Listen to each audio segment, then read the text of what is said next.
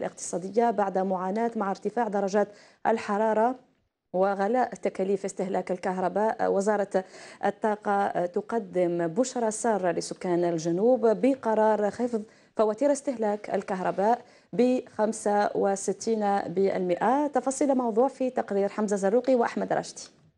درجة الحرارة هي قضاء وقدر هذا أمر الله سبحانه وتعالى. ولكن ما نتمنى من الدولة أنها تعطي خصوصية لهذه المنطقة. خاصة أن فواتير الكهرباء غالية ياسر. شدة الحرارة من جهة وغلاء فاتورة الكهرباء من جهة أخرى. هي بعض شكاوى سكان جنوبنا الكبير الذين يعانون من ارتفاع درجات الحرارة التي زادتها صعوبة الانقطاعات المتكررة في التيار الكهربائي ليكون الرد من طرف جيتون الذي اعترف بصعوبة الوضع وقدم اعتذاره لسكان الجنوب.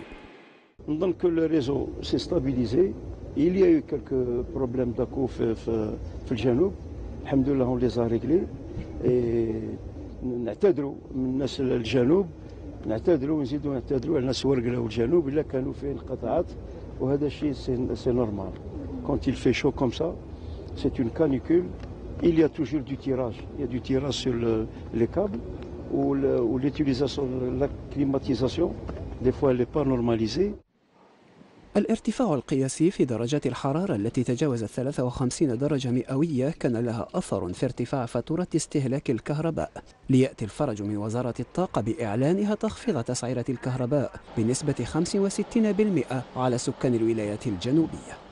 السكان تاع الجنوب مما فيهم ورقلة عندهم انخفاضات نتاع تاع السمار 65% 65%